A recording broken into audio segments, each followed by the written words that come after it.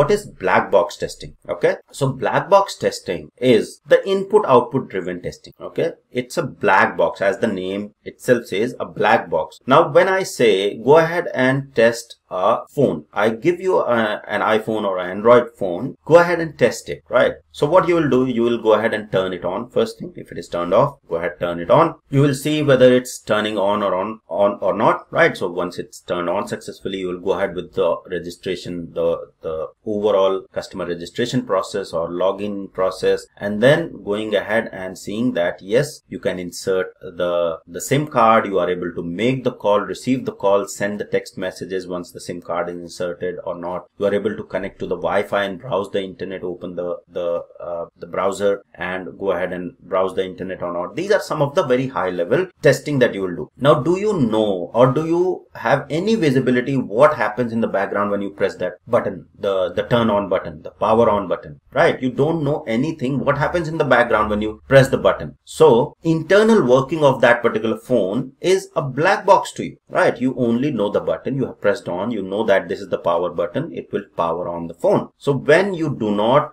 worry. You do not know what happens inside the phone when somebody presses the power on button when somebody opens the browser when somebody connects to internet and then browses the internet. Internally what happens what signal is uh, being triggered what all network connectivity happens. When you you are not bothered or worried about any of that that is black box testing right? So black box testing is concerned about what software does and not how it does. You are not concerned about how that powering on happened, how the battery is providing the power, right? How the connectivity happens. You are not bothered about that. You are just bothered, bothered about the functionality. So it's a black box to you. In the software testing context, software context is the same thing. You are testing a, say for example, e-commerce website. Okay. So you will go ahead and open the website. You will click on register button. You will provide all the details. Click on register button. You will see that registration has been successful, right? You are not bothered how the internal code works when somebody submits the registration form. Okay. How many methods are called,